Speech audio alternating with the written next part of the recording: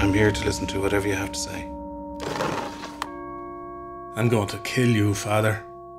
Certainly a startling opening line. I was raped by a priest when I was seven years old. Why don't you make a formal complaint? What good would it do? The man's dead. Things you hear in confessions these days. The mess people make of their lives.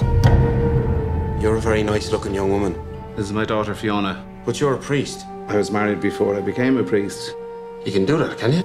It would appear so. There's no point in killing a bad priest, but killing a good one, that'd be a shock. Could I have a word?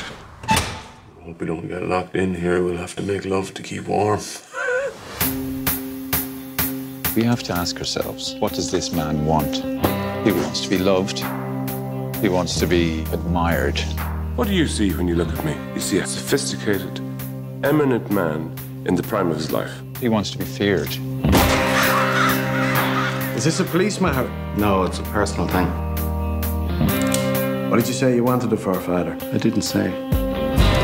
Your church is on fire. It takes a lot of nerve to burn down a church.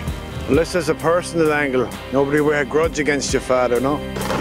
I'm going to kill you because you're innocent. Not right now, though. I give you enough time to put your house in order. Time is gone, you don't even realize it. My time will never be gone.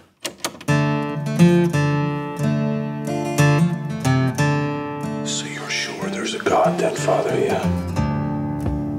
Well, the future he known. Do you need help? I have had murderous feelings, I have to admit. Referring to the commandment, thou shalt not kill. What about self defense? It's a tricky one, all right. Run along now, Father. Your sermon is finished. He needs taking down a peg or two. That's what he needs. Take me down then. Venom wasted.